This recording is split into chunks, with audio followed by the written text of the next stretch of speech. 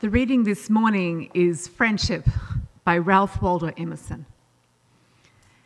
We have a great deal more kindness than is ever spoken. The whole human family is bathed with an element of love like a fine ether. How many persons we meet in houses whom we scarcely speak to, whom yet we honor, and who honor us? How many we see in the street or sit within church, whom, though silently, we warmly rejoice to be with. Read the language of these wandering eye beams. The heart knoweth. What is so pleasant as these jets of affection which make a young world for me again? The moment we indulge our affections, the earth is metamorphosed. There is no winter and no night. All tragedies, all ennuis vanish. All duties, even. Nothing fills the preceding eternity but the forms all radiant of beloved persons. Let the soul be assured that somewhere in the universe it should rejoin its friend, and it would be content and cheerful alone for a thousand years. Here ends the reading. I originally titled um, this reflection as The Sacrament of Friendship. That's a very serious title. In a world that often doesn't take the practice and the bonds of friendship particularly seriously. Friendship is supposed to come to all of us really naturally. You meet in nursery school or college or on a sports team or at a party, and you just take a liking to each other, and that's it. You spend time together. You share your thoughts and dreams. You go fishing, you go drinking, you share easy companionship, and you hope that this thing will stick this affection and loyalty that constitute friendship. As we get older, we may get better at the art of friendship as we come to realize how important those relationships are in our lives. But sadly, many adults come to believe that they don't really need friends. But we do. We really do. Friends have a special and unique role in our lives as witnesses to everything that we're going through. And I just think of like Alexa at this Alexa's daughter at this young age, companioning her peer through this incredibly serious medical situation. So friends have that special witness to what we go through, and they also have an objectivity that family members never really have. A good friend is someone who knows you beyond those roles that can be so easy to get stuck in. And you know what those are mom, dad, husband, wife, spouse. Where there is a true friend, there is someone who knows you as a self, unlimited by all those expectations that come with those other roles and the particularly those family roles. You're just you, and you are known and loved for yourself. I've always been drawn to the New England Transcendentalists. You might remember that gang of brilliant people who lived in Concord. Uh, mostly they did. Ralph Waldo Emerson being kind of the epicenter of that social circle. Uh, Henry David Thoreau uh, living nearby at um, at Walden Pond. Bronson Alcott, you may not know as well, he was Louisa May Alcott's dad. He was also a Unitarian and was really instrumental in um, teaching a new way of engaging children with faith development or religious education. It was based on listening to them. Imagine that. Instead of teaching a set catechism, it was based on questioning and hearing them and, and listening to their questions and being with them in the questions. Margaret Fuller, a brilliant transcendentalist and writer. Um, but largely, I really love this group, not just for all their amazing contributions to literature and philosophy, but because they took friendship so seriously. And they practiced it with great intentionality and commitment as a spiritual practice and an art form. Emerson was a very shy man. He's known for his philosophy of self reliance. That's probably his most famous essay. And he's often blamed for the excessive sense of individualism that many of his Unitarian heirs bring into their community engagement. He got, especially in the 90s, there was like this whole movement to kind of blast Emerson for all of his emphasis on self reliance. And everybody said, well, that really, that's really against community. But if we look at his life, it was full of community. He devoted a tremendous amount of time and attention to many friendships, carrying on dedicated correspondence over years, spilling ink over thousands of pages mailed off all over Massachusetts and New England and across the sea to England, where he kept uh, very, very serious correspondences with philosophers and literary figures there. He and his wife, his second wife, Lidian, hosted guests constantly at their home in Concord. And if you get a chance to visit that museum, it's a, it's a wonderful museum. And it was not unusual for those guests to stay for months at a time. So if you're sitting here thinking, like, I can't wait for my guests to leave after two or three days, imagine what it was like because people traveled a long way and it took forever to get there, right? Stagecoach and all of that. And so they would stay for months. It was, um, oh, and here's Emerson writing in his essay on friendship a new person is to me a great event and hinders me from sleep. Isn't that wonderful? That sense of like being so excited to have that connection and chemistry with someone that you're actually, you can't get to sleep. It's like a kid. And he admits to that. And that's just a wonderful attitude to have as an adult. The Transcendentalists made extraordinary literary contributions crafted in solitude, but they relied on friendship to cultivate their imagination, to try out ideas, and to challenge each other. And I think that last part is something that is so valuable about our adult friendships. Because to me, it seems often that we think of friendship as something that should be really just comfortable at all times, right? A friend is someone that you can just chill with, you could just hang out with. And it shouldn't get too intense, or someone might have to back off, or in today's, uh, in today's parlance, set boundaries. And here's another one, uh, a new phrase in the last 10, 15 years ghosting. Have you heard that expression, ghosting? It's when you have a relationship of some kind, it could be dating, but often friendship. And you hear people write into advice columns. I'm an inveterate reader of advice columns. I love it, you too. And people describe really frequently this pain of being ghosted, of having somebody just disappear from their lives with no explanation.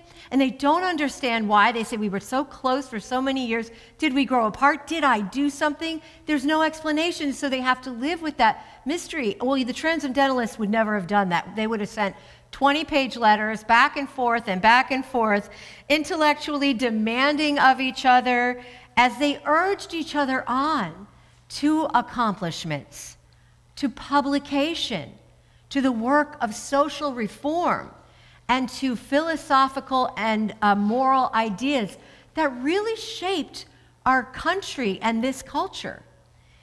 They worked out their differences and they weren't afraid to offend each other in doing so. If you read some of their correspondence, they're a little bit rough around the edges about why they haven't been in touch and how frustrated they get with each other. The fact that they lived in a world of books and ideas and had much less distraction than we do, of course, allowed them the time to do this. But it was really their ethic of engagement that mattered. They're, they took their friendships as seriously as they took their parenting and as they took their uh, relationship as spouses or as children or as members of the family.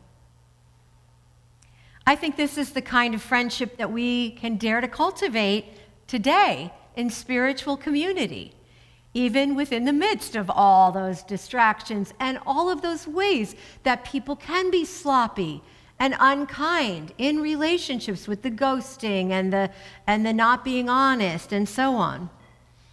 I've always loved that the Quakers call themselves the Society of Friends because it lifts the title of friend to that, elevates it. It, it, it names friends as special companions of the heart and the soul and the spirit. Together, the friends do so much more than just have a beer and hang out. And there's, I have nothing against having a beer and hanging out, believe me.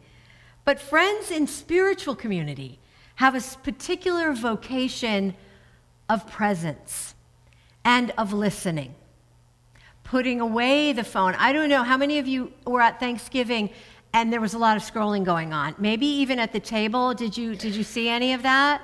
Just you know scrolling on the phone? Yeah, I mean it's okay. Maybe you were the one doing it. Maybe even you were the one doing it cuz like it's like this is the only way I can tolerate this crowd. You know, I mean that can happen. But in these special spiritual friendships, we really remain present without the distractions. We show up for one another in, with deep care for the ways that we communicate and why.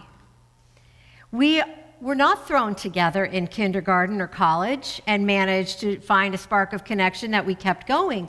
Those of us who join in spiritual community and spiritual friendship were intentionally seeking a deeper approach to life for ourselves and often our children when we walked through the door of a house of worship announcing, we were announcing our availability to know and to be known, which can be very scary, and to become that different kind of friend. It's always a touching moment for me in the uh, Christian scriptures when Jesus says to his disciples, He says, I no longer call you servants, I call you friends. And what I think he means by that is because I've shared the mystical connection to God that I've personally experienced with you, and you get it. It's not an actual quote. That's just me, eh, you know, my understanding of what he means.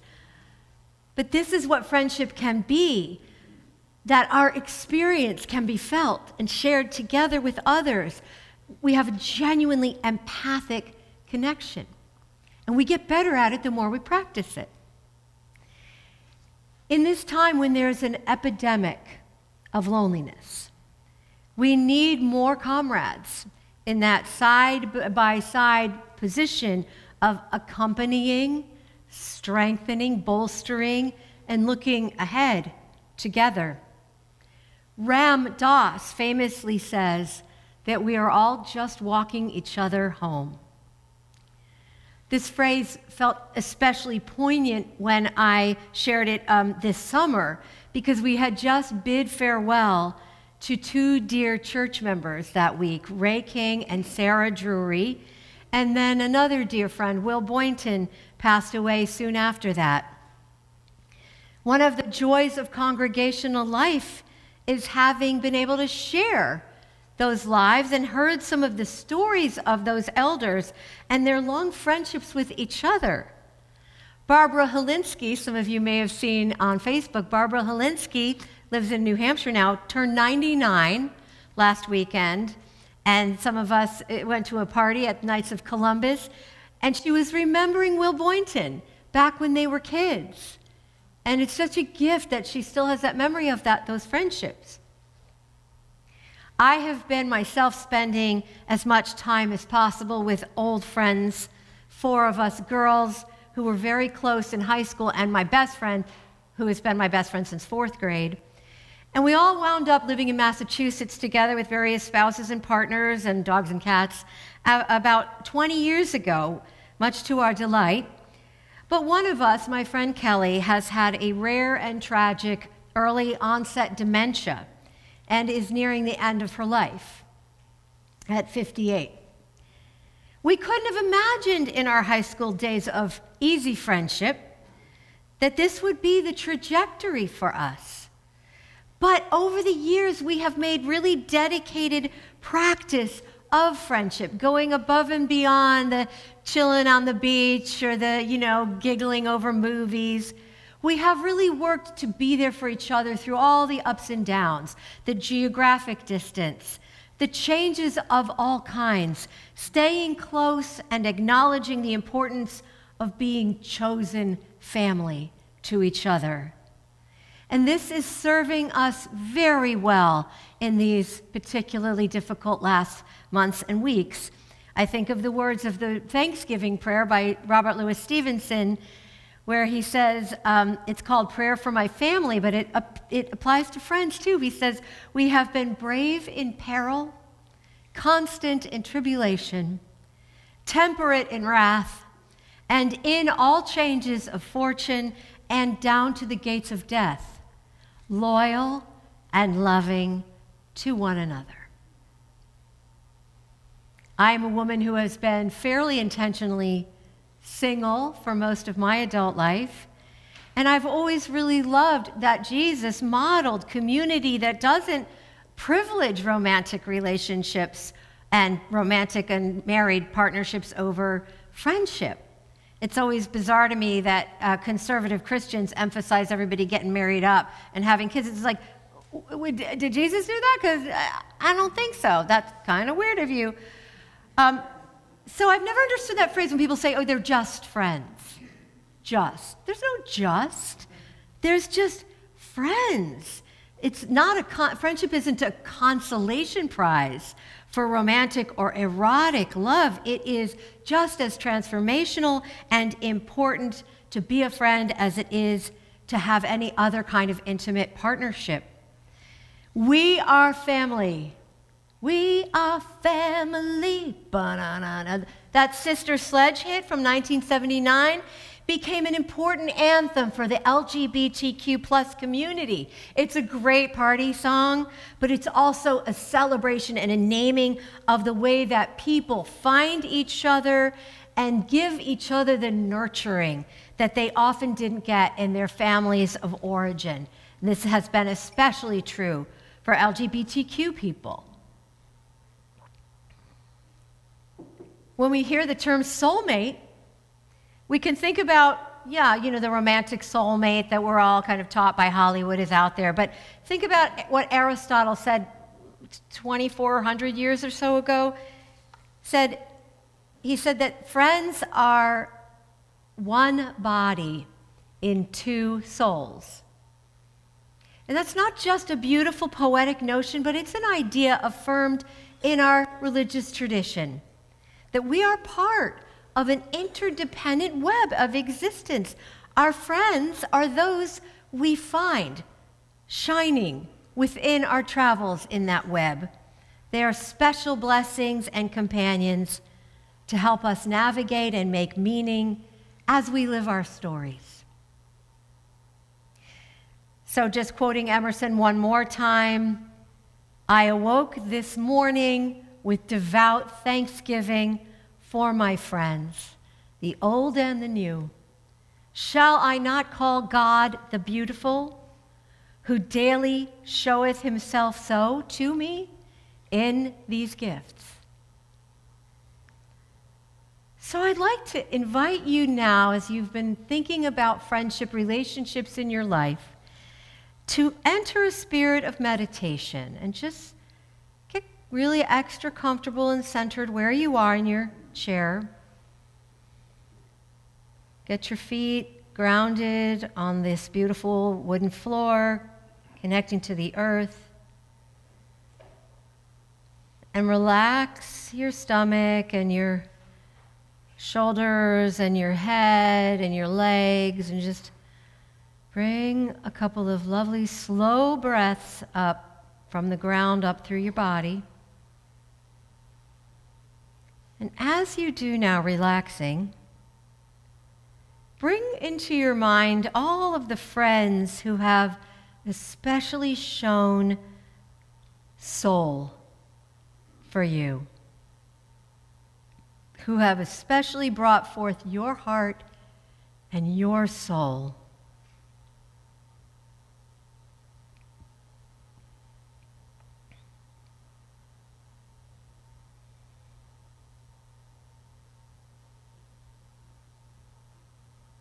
Maybe you hear their voices.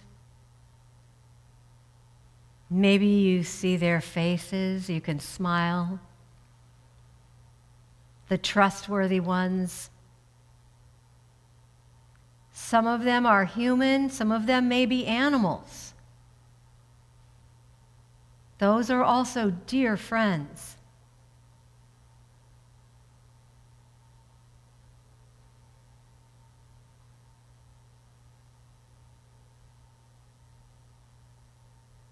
Some of those friends may be elements of the natural world that you feel have especially befriended you.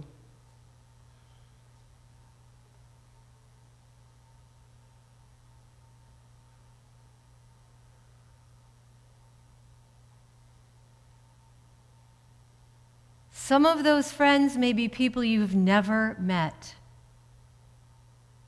authors, poets, artists,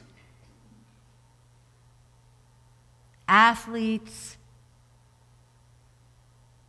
whose achievements, whose work, whose contributions, social justice, prophets, leaders of spiritual movements. These are people who have provided beauty and inspiration to you in your life.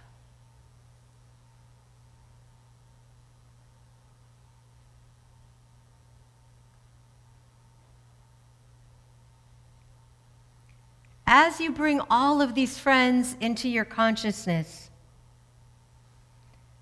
draw ever more deeply into your being, into yourself, the gift of their being.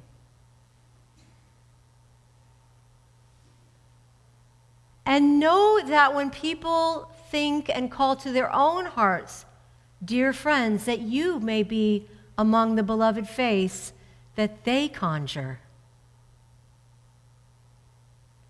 And so we live in this ether of shared and received love, understanding, and inspiration. In times when you feel despairing and lonely, when you feel bereft, when you feel misunderstood and uncompanioned, know that you may always return to this moment. Settle yourself into this embrace of friendship, and feel renewed connection and strength. The Arabs used to say, when a stranger appears at your door, feed him for three days before asking who he is, where he's come from, where he's headed. That way, he'll have strength enough to answer. Or by then, you'll be such good friends, you don't care. Let's go back to that. Rice? Pine nuts? Here, take the red brocade pillow. My child will serve water to your horse. No, I was not busy when you came. I was not preparing to be busy. That's the armour everyone put on to pretend they had a purpose in the world. I refuse to be claimed. Your plate is waiting. We will snip fresh mint into your tea. As we go forth from this time together, let us find the friendship and care that sustains in our human relationships and also our kinship with the natural world. May the love that makes life meaningful be with you now and always, and peace be with you. Let the people say, Amen and Amen.